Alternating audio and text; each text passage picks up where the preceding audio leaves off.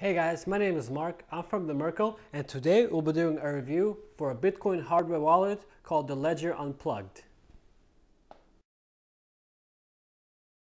Alright guys, so let's get started. This is the box that it comes in. Uh, very simple. You open it up, and you have a little pamphlet. It contains some instructions as to what you gotta do. You have the instruction card it's uh, the same exact card that comes in the Ledger Nano box, which is also another hardware wallet we did a review on. Inside this second pamphlet is a recovery sheet, which contains a little card, which on the back side has a cipher, which is used to verify ownership of the Ledger Nano and to retrieve your Bitcoins. Um, finally, you have the actual pamphlet, with the actual card. Now this is the RFID card, which pretty much acts like a 2FA for when you're sending transactions. So when you send a transaction, you're gonna have to have this card with you in order to verify on your phone and pass the 2FA. Then all the Bitcoins can go through. We'll also do a brief tutorial on how to get set up with the Android phone, um, which should come on right in the next part. But other than that, there's nothing much else in the box. It's just two things. You just have your recovery sheet and then the actual uh, card, the RFID card. If you take off the rest, there's literally nothing else in there. So that's it. If you compare it to the Ledger Nano, it's right here. Again, it's the same exact box, except the Ledger Nano just contains, um, see it has the same exact security card as the Ledger Unplugged, except it has a few more um, goodies, you know. So it's honestly, this is here's a Ledger Nano once again, and then here's a Ledger Unplugged.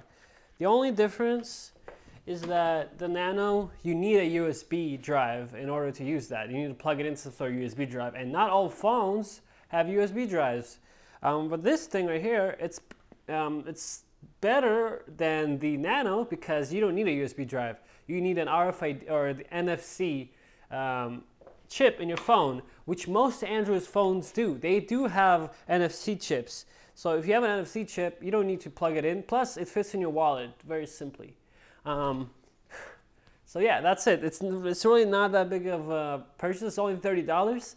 It's really, you just get this card and you know that no one's going to be able to take your coins. I mean, you have an extra set of protections. You can you can go ahead and sync it up with Mycelium, for example. If you sync up the wallet with Mycelium, um, which is a great Bitcoin wallet, by the way, it's one of the top. We, we recommend that for Android. It's the best Android wallet you can get. You can get uh, because open source. There's no other servers. You know, you don't you your phone contains the private keys of the bitcoins, so you are not gonna lose it. You know, no exchange is gonna be like, hey, no, you are gambling with your bitcoins.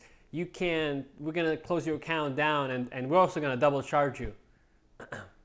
anyway, um, that's it. This is it. Ledger Nano, great, cheap, effective, usable.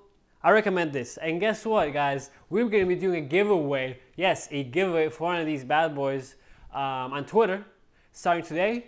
Uh, it's going to be going for three days. In three days, we're going to announce the winner. So go ahead and retweet and follow us on Twitter.